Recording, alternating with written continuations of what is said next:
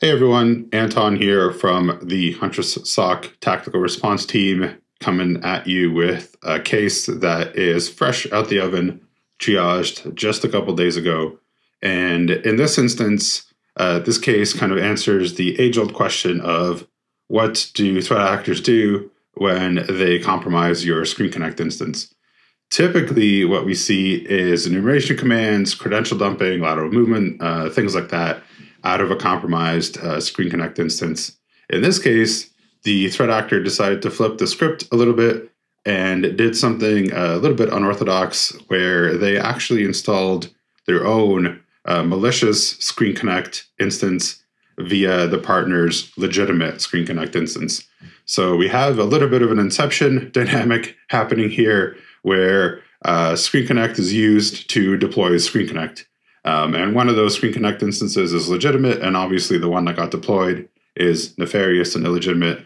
So, what does this look like in your logs, right? How can you look for this kind of stuff in your environment? What kind of things do you look for? So, one of the telltale signs is this MSI exec execution uh, happening from the Screen Connect instance. That is a little bit rare uh, especially when the MSI is actually installing a secondary uh, Screen Connect instance. So in this case, what we did is we saw this initial uh, Screen Connect compromise. We then did a little bit of forensic analysis to timeline here. And what we could see here is that the Screen Connect instance was compromised originally um, around uh, 7 p.m. And shortly after that, the threat actor compromised additional Screen Connect instances. So when we pull the event logs from the affected organization, we can kind of see the timeline of who patient zero was, how did this intrusion actually start, and where the malicious Screen Connect instance got installed so that we're able to communicate these things to the partner so they could kind of close the gaps and remediate where necessary. So we can see there was a bunch of Screen Connect instances as well. And once we get to the bottom of our timeline here, we see that actually a couple commands were executed via the malicious Screen Connect instance.